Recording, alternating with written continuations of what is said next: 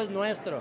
Sobre todo siempre verlos contentos juntos. ¿Cómo han logrado este gran equilibrio Pues, vida personal? Es que ella sabe manejar muy bien la rienda, pues ¿con qué le vamos a hacer? Con harta terapia, se llama canasta básica terapia. Esa es la rienda. ¿Es en serio? Los dos toman terapia por Siempre. y aparte juntos. Claro, sí. Sí. ¿Sabes qué pasa? Que cuando te haces responsable de ti mismo, dejas de tirarle el- lo que no le corresponde al otro, de echarle la culpa, de hacerte la víctima. Entonces, pues cada uno por separado trabaja sus cosas y eso ¿Cómo le voy a echar la culpa así de chula? ¿Cómo le voy a echar Oye, la culpa? Pero también el tener un hijo viene también luego a complicar las cosas, ¿no? O sea, sí es una bendición y demás. Sí, las también complica, como claro. pareja Sí. Como pareja y aparte cada uno tiene puntos de vista distintos, ¿no? Sí, cada quien tiene una cultura distinta y, y eso ahí se refleja inmediatamente con el niño también. Oye, ya lo está pidiendo Laurita Bozo para eh, Las Estrellas Bailan de Nuevo y ya parece que Laurita se va a animar a entrar y ¿Ah, sí? ahora sí que el único, el único que le dio batalla fue Raulito. Ah, No, es pues, el puesto. único que ha podido con ella, ¿va? el Muy Puesto. bien, él ya está. Ni le hubieras dicho, me va a mandar con moñito y todo. Mañana se lo endoso. ¿Qué piensas de toda esta carrera que ha hecho tu marido? Porque, bueno, se atrevió a bailar, luego hizo la serie de Vicente, o sea, ha estado picando piedras durísimo, pero proyectos Gracias, que hermano. Lo han dado ahora sí que a catapultándolo directo, porque el otro día lo había en Los Ángeles hablando de eso. ¿Qué piensas tú de eso?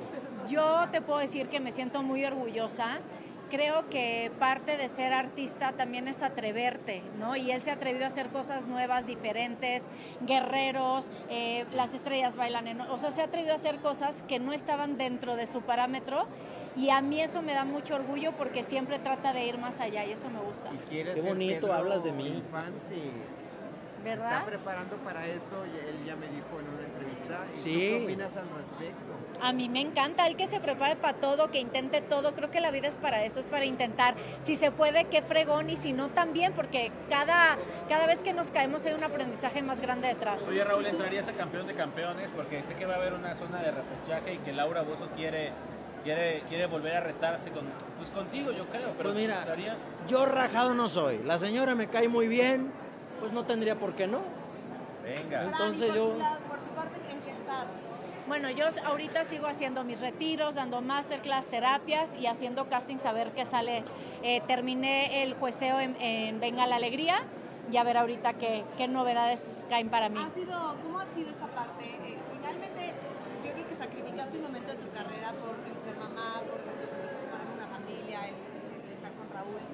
Y ahorita, ¿sientes que has batallado un poquito por, ese, por esa pausa que hiciste? Es que no lo veo como un sacrificio porque fue una elección. En realidad fue una elección que yo tomé, eh, dedicarme los primeros años que para mí son los más importantes en un niño, en su educación, en su crecimiento, en sus creencias, estar cercana a él. A dos, y, ¿no? A y- dos niños.